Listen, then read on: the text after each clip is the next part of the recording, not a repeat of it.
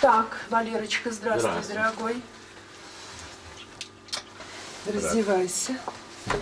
Раздевайся, пожалуйста.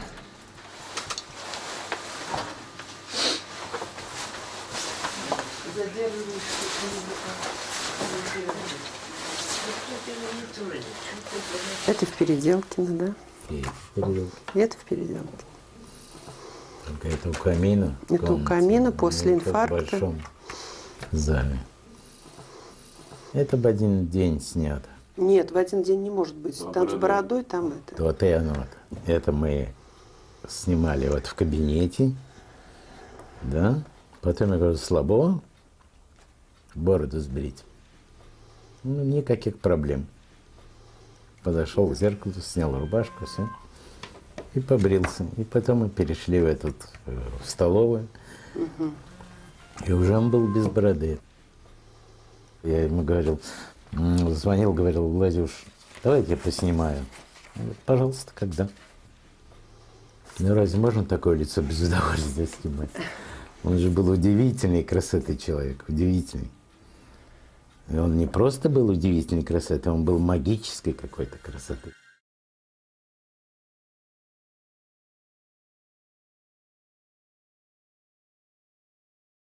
Когда вот он э, репетировал спектакль Сава Кулиша, Чудо святого да. Антония. То вот когда он стоял в этой робе холщовой э, на сцене, светились глаза. По-настоящему было такое впечатление, что горит, лампочки горят.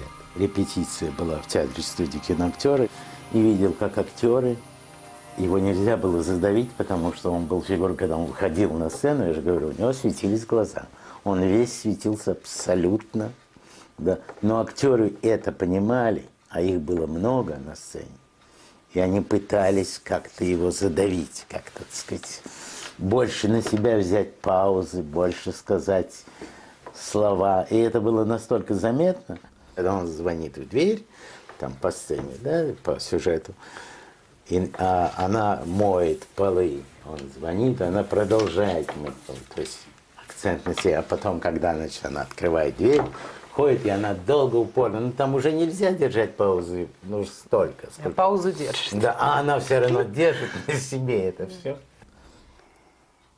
Было так и вот в компании, в доме, и при этом он притягивал к себе, как никто другой. Говорящие правильные, красивые слова, он мог молча вот совершенно на себе сконцентрировать все внимание. Знаете, как ждут? Ага, придет актер, и сейчас будет вот такой фонтан всего, слов, эмоций.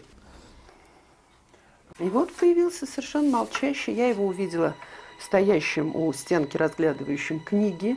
Сначала поразил рост, потом он развернулся к нам, улыбнулся, познакомились. И вот весь вечер он практически молчал, чем, конечно, вот совершенно взял э, просто вот с первой встречи, вот совершенно другим, а не тем, что ожидалось.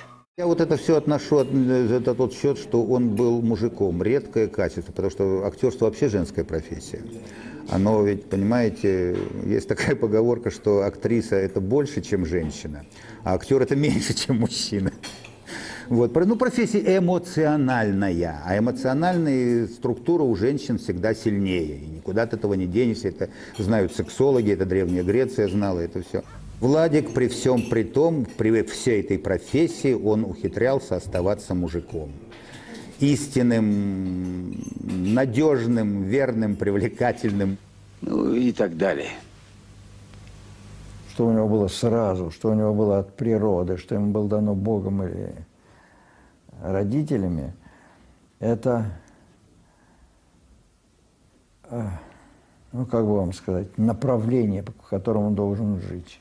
Он должен был, обязан быть, был быть актером. Когда он перенес инфаркт, и когда врачи сказали, что э, как можно больше, меньше поездок, экспедиций, и вообще, и вообще лучше бы сменить профессию.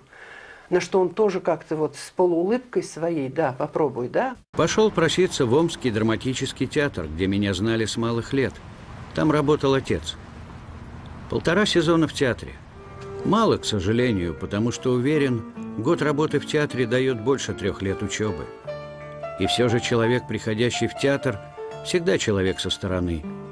Ему очень сложно сразу же выйти на сцену. Я так и остался здесь Владиком у теть Галь и дяди Лёш. Самое смешное то, что я, я не помню его в театре, его ролей. Вот работая с ним, я не помню, вот не могу сказать. Я знаю, что он играл. У нас был такой спектакль, Хайкин ставил с вечера до полудня. Играл э, Челищев, и он играл. Челищева помню, его не помню. Ну, не помню, я его ничего не могу. Ну, а вот сказку, это первая моя роль была в этом театре, сказка «Оловянные кольца» принцесса Алили. Но он играл какой-то там Шахиншах, какой-то персиянин, какой-то сказочник, который какие-то фокусы там делал, луну из-за пазухи доставал. В общем, какой-то был шах персидский там. Вот. Поэтому я его помню, вот по, только по этой пьесе. Он у нас в театре был абсолютным авторитетом по вопросам медицины. Кто споткнется, ногу надо выправить, или там порезать, Владик, иди сюда. Он даже, у него даже была беленькая шапочка для смеха, мы одевали. Ситуация очень смешная. В театре перспективы нет. Внешность у него такая специфическая, да-да-да. И он надумал пойти в геологи. Его друг Талямба, значит, геолог, и он решил значит, с ним э, уйти в геологи. Книжки какие-то приволок стал читать, ну, пока только рабочим, но решил уже круто поменять свою жизнь. Ну, он маме говорит, что все, значит, э, закрываем э, эту страницу, все, я из театра ухожу. Есть актеры, которые могут и там, э, и там играть. А есть, которые только в кино. Мне так кажется, что э, его темперамент, которым он обладал, он не перехлестывался через, через сцену в зал. Его было мало. Вот его внутреннее внутреннее состояние и его даже голос, я не имею в виду громкость, а вот тон голоса, его вот как бы внутреннее напряжение голоса, вот все, оно не совпадало с его фактурой. Когда он э, говорил, он казался, голос был несколько безвольным в соотношении с его фигурой и его темперамента не хватало для зала. И так шла моя жизнь, пока в Омске не появилась ассистент режиссера Мосфильма Наташа Коренева. Она искала антигероя для фильма каждый вечер в 11. Пришла в театр, посмотрела фотографии, стала расспрашивать ребят, а они вытолкнули меня. «Вот вам готовый антигерой, берите». Посмеялись вместе и на том расстались ждите, вот мы ждали, ждали, ждали. Ну, там уже обо всем этом много написано, как бы, как это все происходило, да. Но когда э, первый вызов из Москвы реальный пришел, что ему надо на пробу ехать, ну, он взрослый, он вообще-то сдержанный человек, да, он, он, как, он был как ребенок, он прыгал, кричал, стойку на руках делал, скакал по всей нашей смешной комнате. Угу, это было Получив телеграмму с приглашением на кинопробу, я ринулся перечитывать пьесу Булгакова. Стали гадать с женой, кого бы я там мог сыграть. Светлана сказала, может, Хлудова? Она всегда преувеличивает мои возможности. А я, конечно, на эту роль и не замахивался. У нас была с Алловым такая позиция «наш или не наш». Вот то, что он наш, это было с самого начала. Как только мы его увидели, увидели по фотографии, мы его вызвали и сказали сразу, этот человек наш – где мы его используем, как мы его используем, я не знаю, но это наш человек. При первой встрече режиссеры предупредили меня. Не стесняйтесь, будем вас разглядывать. Пробовали на роль Голубкова, потом на роль начальника контрразведки Тихого. Режиссеры в отчаянии. На роль Хлудова пробовались все актеры, которых себе только можно было представить, но ни в ком Хлудова мы не находили. Положение было катастрофическое. И в этой нервной атмосфере, как призрак, над нами все время висел Владик Дворжецкий. Он просто поселился у нас в голове и вместе с нами, глядя на эти чужие пробы, как бы оттуда, из Омска, тихо говорил «Ну вот же я, посмотри на меня, я, Хлудов». Личность которая, по нашему мнению, совпадала с нашим представлением об этом образе, но не готовую, не, не, не сформированную как актер. Или э, уже готового прекрасного актера, там прекрасные актеры пробовались на эту роль. Ну, и мы предпочли вот э, это, и я не жалею. А я целый месяц маялся в Омске ожиданием и все на что-то надеялся. Наконец свершилось, был вызван вторично. Почему люди, стоит им войти в вагон, прилипают к окну? Что там? Тот же перрон, на котором они в ожидании томились, и который знаком им до каждого курка, и... Странно это, а? Капает. Это, говорят, хорошая примета уезжать в дождь. За окном так темно, что это уже не окно, а зеркало, и в нем я. В себя смотреть, что ли? И зачем я еду?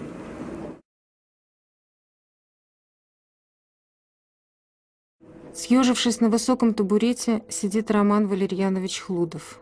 Человек этот лицом бел, как кость.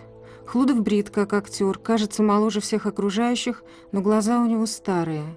На нем солдатская шинель, погоны суконные, и на них небрежно нашит черный генеральский зигзаг. На Хлудове нет никакого оружия.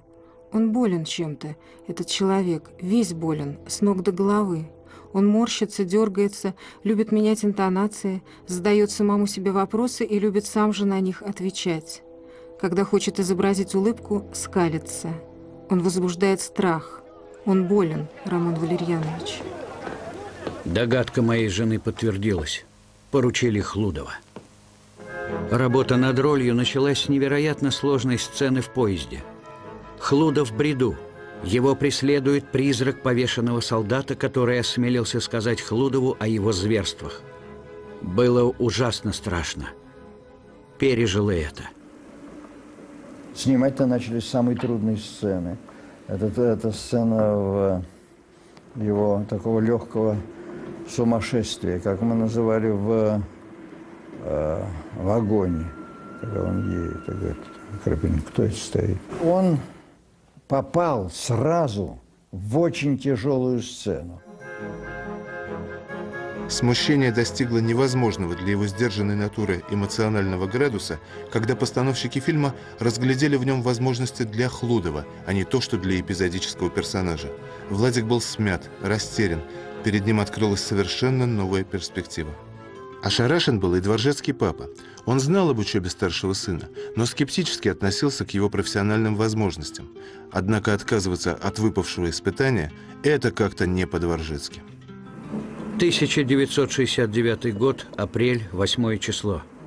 Первая в жизни съемка. Когда я впервые увидел себя на экране, закружилась голова, и это не странно. Трудно даже голос свой воспринять впервые. А тут человек двигается, говорит и этот человек – ты. Когда началась работа на съемочной площадке, все время чувствую, что за мной наблюдает какой-то ужасно знакомый человек. Пронзительный человек. Он сидит молча и смотрит, что я делаю. А режиссера, как назло, говорят, сделай так, попробуй это. Пробую, делаю. А он молчит и смотрит. Не выдержал, я спрашиваю, кто это? Да Баталов, Леша, говорят. Давай дальше.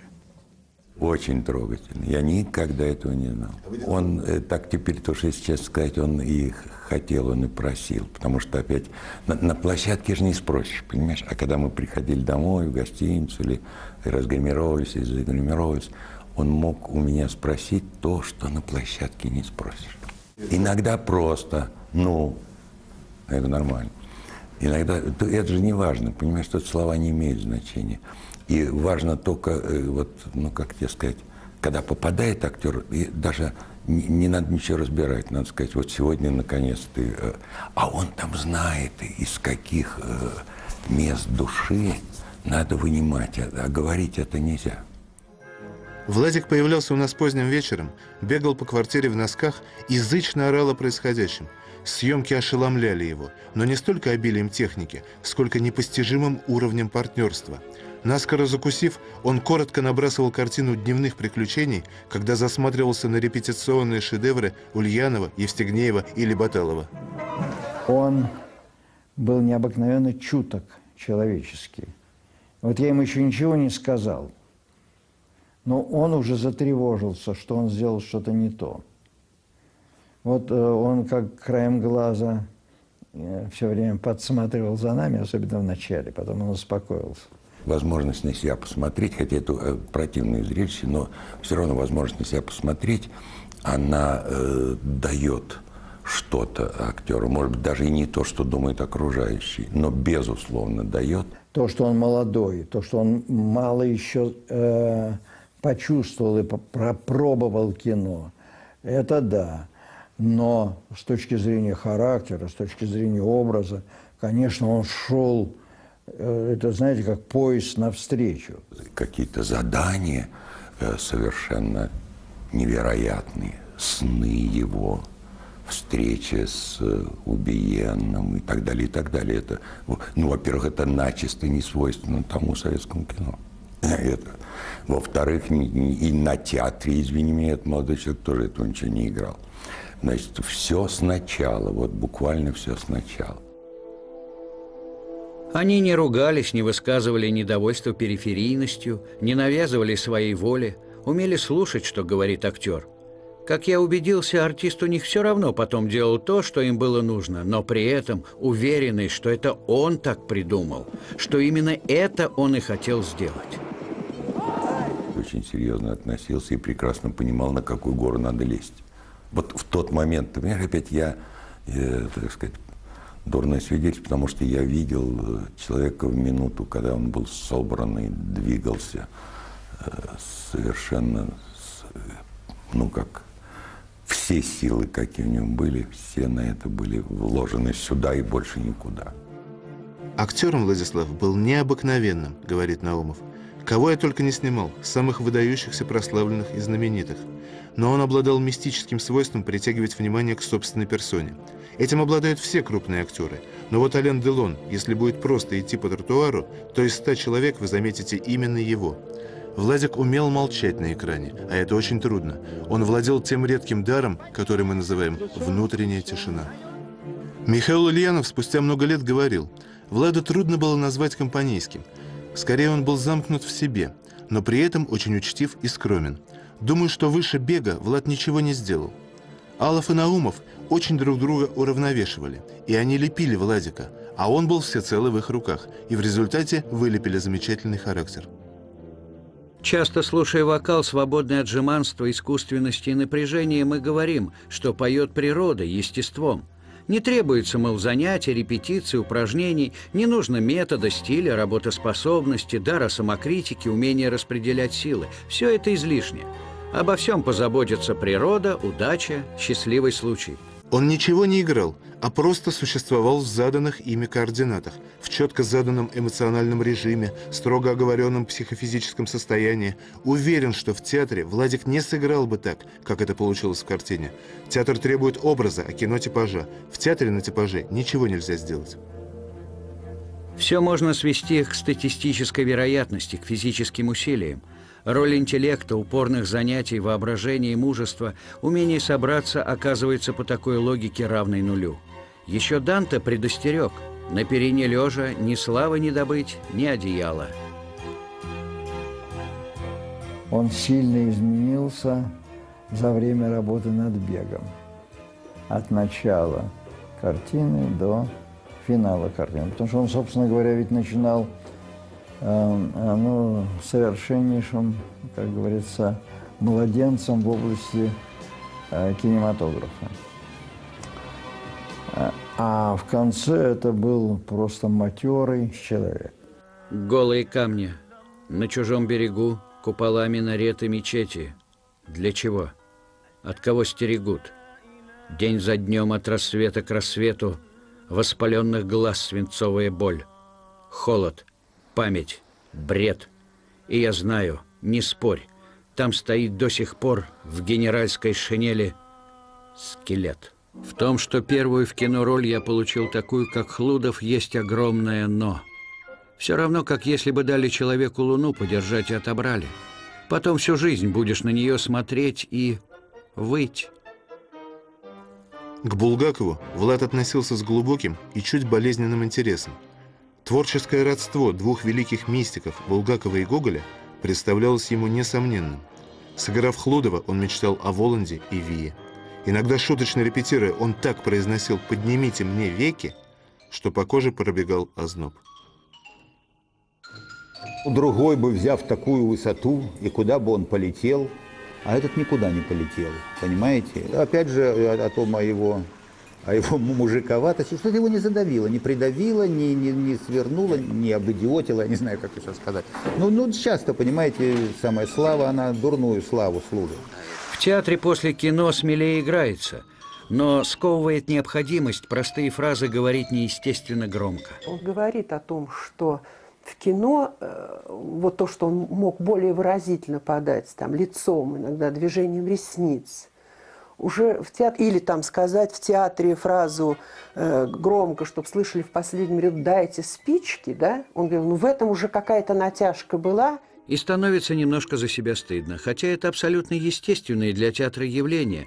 После кино мне с ним справиться трудно. Предпочтительнее, наверное, для него и стал кинематограф поэтому. Кино, конечно, труднее, потому что э, в театре есть какая-то последовательность действия кино сначала уми, э, снимают э, нередко так. Сначала, сначала убивают, а потом рождается, и все кверх тормашками. Владик постепенно становился homo sapiens, делился с друзьями отец. Должны были ехать в Чехословакию. Владик так заполнил анкету. Где родился, не помню, чем занимался, не помню, отец-мать не помню, цвет волос – лысый. Он уже был актером Владиславом Дворжецким и считал это самодостаточным, без анкет и без виз. Они с отцом были резкие – Оба похожи в своей непохожести. Каждый из них был самостоятельной и грандиозной личностью, а такие всегда одиноки. Никогда, ни разу не было сказано отцом, что Влад хороший артист. Он вообще не считал Владика артистом, потому что, по его мнению, артист тот, кто играет в театре. Кино – это фактура, глаза, поворот, любил он говорить. Что такое везение? Пауза в съемках «Святого Луки». Целый месяц в Риге шли дожди, а мы туда за солнцем поехали. Сидели мы с Олегом Басилашвили в номере. Я и говорю, надо же, рядом в одном объединении такой режиссер снимает «Солярис». Сил нет, как хочется у него работать. Так бы и подошел и сказал, «Андрей Арсеньевич, возьмите меня». Я даже спрашивал ассистентов, как Тарковский отнесется, если вот так взять и подойти. Как подойдешь, говорят, так и уйдешь. Он ненавидит актеров, которые просятся к нему. Тарковский этого терпеть не может. Он просто выставит в два счета. И только они проговорили, раздается звонок. Приезжайте в Москву, вас приглашает Тарковский. Ну вот, не случай ли очередной, да? За последнее время в моей актерской судьбе наметился резкий крен. Из разряда отрицательных героев воли режиссуры перехожу в разряд положительных. Мне хочется попробовать себя в полностью противоположном, в комедии, эксцентрикой заняться. В одном интервью сказал, хотел бы сняться у Рязанова – После этого он стал со мной здороваться, но роли не предлагает. Снова снимался, играл каких-то супербандитов или сверхгероев, нарабатывал метраж и послужной список, но иногда отчаянно твердил, что его используют, а он так и не знает, актер он по сути или нет.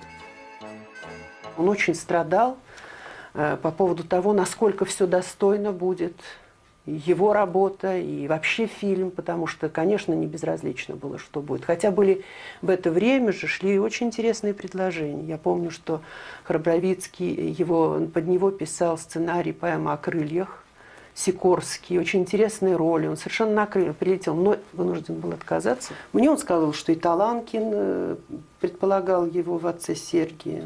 Я разговаривал с Филини, у него он такое себе придумал название «Средневековые лица». Он даже иногда выпрыгивал из машины, когда ехал по Риму, и шел за каким-то человеком, э, потому что его поразило его лицо. Так вот, у Дворжецкого было особое лицо. Алов и Наумов, они говорили о том, что они будут его снимать всегда. Он с, этим, с этими словами вошел в дом, он приехал после этого, и вот ты, ты слышала? Конечно, слышала. Они будут меня снимать? Филипп вообще как персонаж нами был задуман очень зажатый, скрытый, э, вся его э, как бы жизнь, все его помыслы, они где-то таились внутри. И поэтому он появлялся редко, он появлялся странно. Он очень хотел сниматься. Но так случилось, что у нас не получалось. И э, единственное, что я вам могу сказать, что вот на такую роль в «Легенде о теле» Уильям Шпигеле он э, очень радостно согласился. Монтеня, по-моему, где-то есть. Да я бы с радостью говорит, подчинялся. Это хорошо не думать, если, есть, если разумно то, что мне приказывают. А ведь э, все восстает, когда чушь приказывают, а это бывало. Не каждый день, но бывало. Мне кажется, усталость у него накапливалась, и, может быть, раздражение. Рубежным моментом в его метаниях стало предложение Анатолия Эфроса поступить в театр на Малой Бронной. Владик испугался. Не Эфроса, нет, не его значительных актеров. Испугался именно неизбежности понимания своей судьбы. Были приглашения в театры на Бронную, на, в театр Моссовета. Я знаю, что ему звонил Завадский, он должен был через какое-то время дать ответ. Причем условия бы поставили, предлагались хорошие, жилищные, в том числе, в чем он нуждался. Э, Владик отказался. Часы – это страшно. Особенно страшно становится, когда обратишь на них внимание. Так обычно их не замечаешь. Но стоит задуматься о времени, как о чем-то вещественном, имеющем для тебя лично предел, и часы становятся носителем такого, чего хочется выть, кричать, кусаться. В мозгу звучат слова «меньше, меньше, меньше». Меньше становится не времени, а тебя самого. И время шло. Стремительной круговертью новых съемок, знакомств, поездок по стране – Влад словно пытался перехитрить его. Много ездил, купил машину. Он даже бороду отпустил по совету католикосов всех армян Вазгена, с которым лежал в больнице после инфаркта. Мудрый иерарх сказал ему, что надо менять внешность, если чувствуешь над собой нависшую угрозу судьбы. Порой актерский интерес дремал в нем. Проявлялись желчь и неудовлетворенность. Ставшая текучкой работа в кино всерьез его уже не задевала. Может быть, лишь роль капитана Немо привлекла его образом подводного отшельника.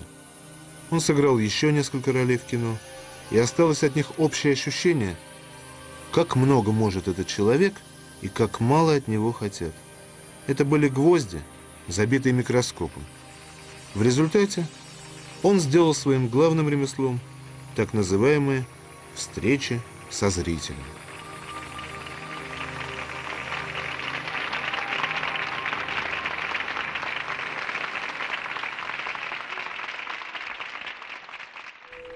Часы, вероятно, придумал добрый человек, желавший людям помочь что-то успеть, что-то не потерять, а превратились они в крохотные гильотинки на глазах отрубающей секунды человеческого существования, и это завораживает, как всякая казнь. Маятник, как медная секира, срубает головы минут. А потом спектакль просто кончился. И Сава говорил, э, несмотря на то, что были, так сказать, у него там люди, кто мог бы кого заменить, да, но оказалось, что незаменим. И просто спектакль не пошел, хотя на него вывалом валила вся Москва. Суть в том, что он был отдельный, особенный, отделенный от всех. Он актер, который занимал определенную нишу в нашем кинематографе. Вот это было его место. И с его смертью я не знаю, кто туда мог попасть. Пока вроде и не случилось. Его ниша пуста. Вот такой актер нам нужен. Это актер для глубоких философских ролей. Вот этот его магнетизм, вот согласись, вот столько лет прошло, да, он нас ведь всех держит, он нас всех сдружил. Это ведь бывает далеко не всегда. Да. Далеко. Бывает, люди вот распадаются, как, ну, год прошел, ну, два прошло, и там каждый сам по себе. Владик ведь нас держит, мы же большие друзья по жизни, Валер, не откажешься же, мы Нет, большие, нет. близкие друзья. И это Конечно. Владик. Вы Жуковского где-то о милых спутников, которые нам свет своим присутствием животворили. Не говори с тоской их нет, но с благодарностью были. Бессмертие, тихий светлый брег, наш путь к нему стремление. Покойся, кто свой кончил бег. Живешь, пока на земле есть хоть одно существо, которое знало тебя – Потом будут смотреть на камень, которому придана форма твоего лица, и не думать о тебе, а просто смотреть. А если спросят, кто это, никто, кроме официальных лиц, кому это положено по службе, не сможет ответить. И ни с чем живым этот камень не будет связан.